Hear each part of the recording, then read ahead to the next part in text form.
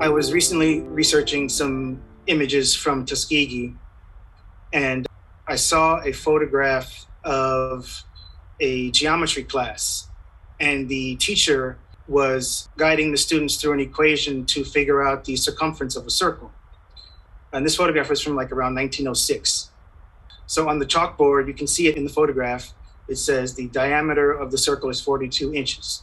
And then you see next to it, the teacher has written out the steps in the mathematical equation to get to the circumference.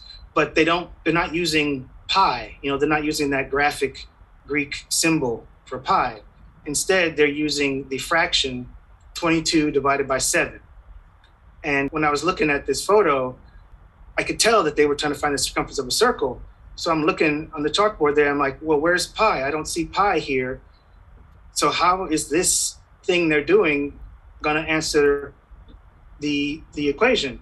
It just struck me like, wait, uh, seven goes into 22 three times plus a little bit more. I was like, wait, is that 3.14?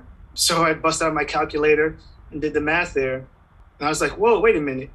Here in 1906, in rural Alabama, they're using 22 divided by 7 to serve the place of pi.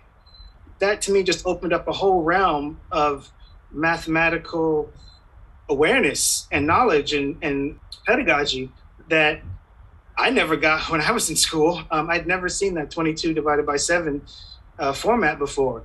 And I just thought that was really interesting. And it's things like that that I feel like are part of the importance of studying history. You know, like up close. It's not just about reading the history books. It's about actually looking at what was going on there and seeing, you know, kind of what life was like on the ground.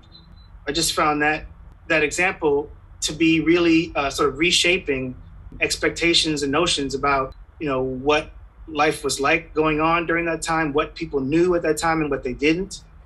I just find it really fascinating. And I just think that's a, a solid example of the value of digging into the crates.